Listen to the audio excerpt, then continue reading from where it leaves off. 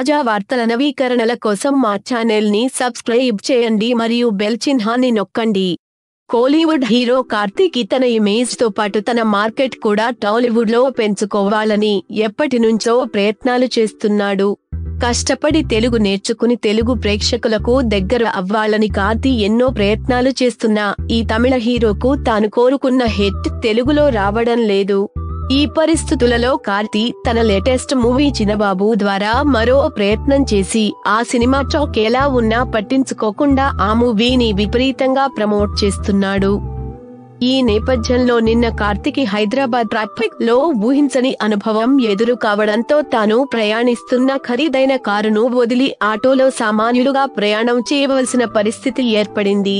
ఆసక్తికరమైన ఈ న్యూస్ వివరాలలోకి వెళ్తే నిన్న కార్తీ తన సినిమాను ప్రమోట్ చేస్తూ హైదరాబాద్లోని మాదాపూర్ ప్రాంతానికి వచ్చాడు.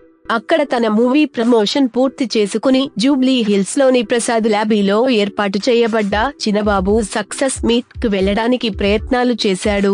అయితే అప్పటికే సాయంత్రం కావడంతో మాదాపూర్ దగ్గర విపరీతమైన ట్రాఫిక్లో తన కారు చిక్కుకోవడంతో ఇక లాభం లేదనుకుని తన కారు వదిలి ఈ మూవీ నిర్మాత రవీంద్ర రెడ్డితో కలిసి చాలా కష్టపడి సమయానికి చిన్నబాబు సక్సెస్ మీట్కు కార్తి ఆటోలో రావడం మీడియాకు హాట్ టాపిక్గా మారింది.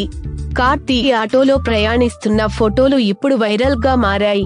టౌట్ హీరోల సినిమా ఫంక్షన్స్ కోసం గంటలసేపు మీడియా ప్రతినిధులను వేస్ట్ చేయించే సంస్కృతికి భిన్నంగా కార్తీ ఇలా తన గురించి వేచి ఉన్న అతిథుల కోసం మీడియా ప్రతినిధుల కోసం ఆటోలో ప్రయాణించి రావడం మీడియా వర్గాలను ఆశ్చర్యపరిచినట్లు టాక్.